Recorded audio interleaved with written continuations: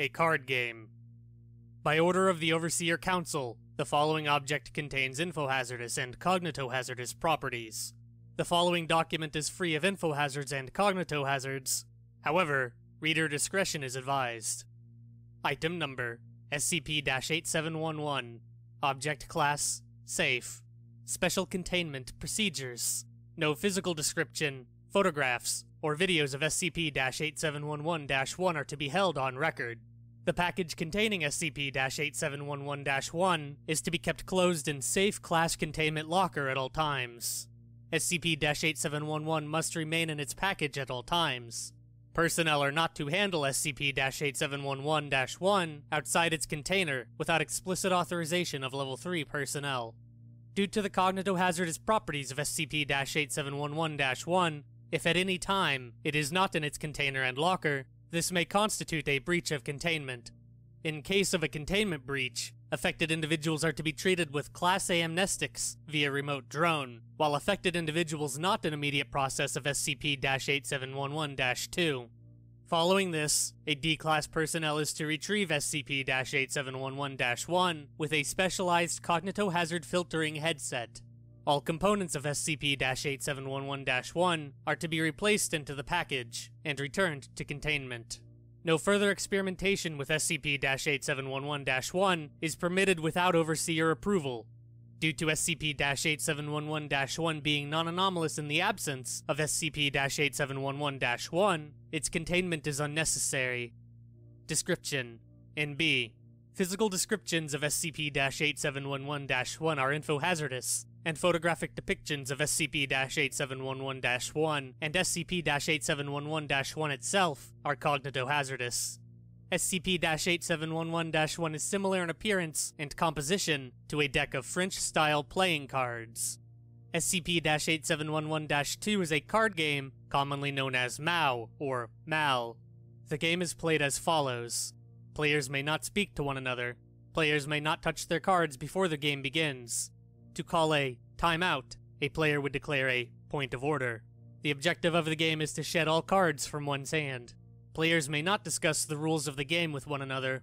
During different events, such as laying down a certain card, to complete one's turn, it is required to perform a certain action, such as saying, have a nice day, after placing a 6.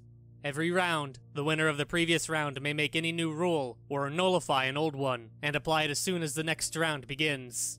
Failure to follow a rule results in receiving a penalty card. Any player may serve and receive a penalty. When played with a non-anomalous deck of cards, there is no ill effect on subjects.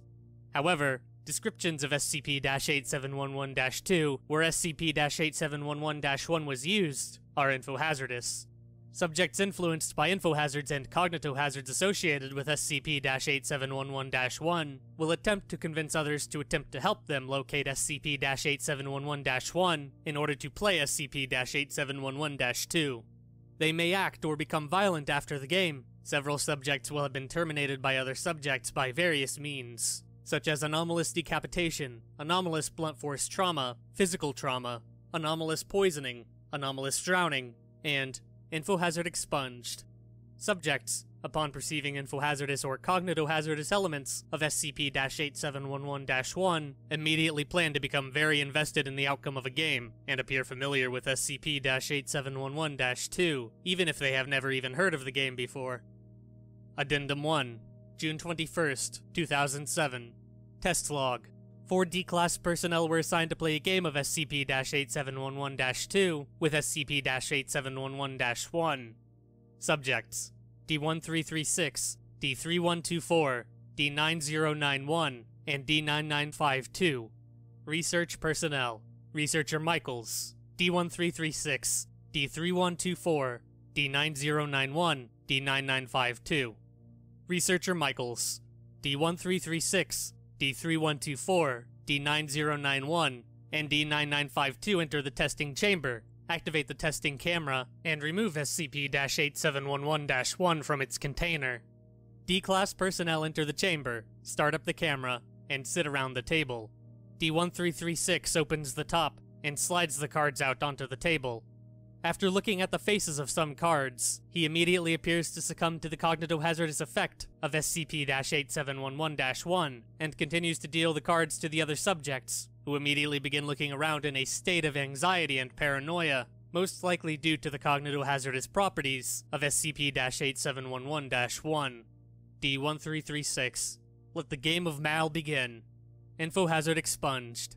Post-event, D1336 was the only one to exit the test chamber. He declared himself the winner when exiting the test chamber. D3124, D9091, and D9952 expired due to decapitation and exsanguination, and physical strangulation, respectively. D1336, all hail the King of Mal. D1336 was treated with Class A amnestics and returned to duties as a D Class personnel. D9952 retrieved SCP 8711 1 without incident, and it was returned to its containment locker. In log